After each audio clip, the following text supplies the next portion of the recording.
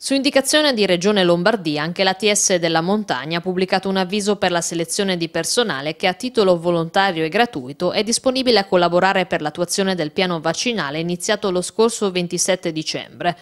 Il bando è rivolto a medici, infermieri, ostetriche e assistenti sanitari, compresi coloro che si trovano già in pensione. Gli interessati potranno dare la propria disponibilità minima quantificata in un turno o in una giornata per un periodo complessivo di impegno non inferiore ai tre mesi. I professionisti dovranno individuare le SST di riferimento presso le quali svolgere la propria attività di volontariato, evidenziando contestualmente anche i giorni della settimana disponibili, compresi sabato, domenica e festivi, al fine di garantire la migliore organizzazione del lavoro possibile.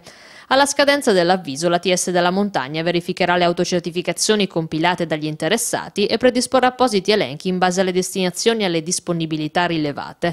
Saranno invece le ASST a provvedere direttamente al reclutamento e alla formazione del personale inserito negli elenchi predisposti da ATS della montagna. Sempre la SST si occuperà di disciplinare i rapporti con il volontario, garantendogli copertura assicurativa e un rimborso spese. La domanda debitamente compilata e firmata dovrà essere inviata unicamente all'indirizzo mail volontari vaccinazione covid-19 chiocciolats-montagna.it unitamente alla copia del proprio documento di identità e del curriculum vitae.